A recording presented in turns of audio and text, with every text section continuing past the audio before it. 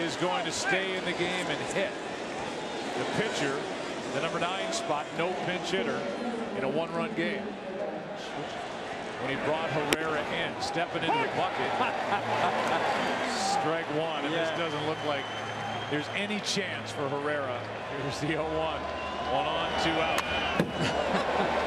You don't want none. How about that? You've never had an at bat in the majors or the minors, and now you're in the World Series. Go get him, kid. I'm not getting hit. Stays down closer to the end. The 0-2. Runner goes. Rock him out. And Herrera, his job is to go back and pitch.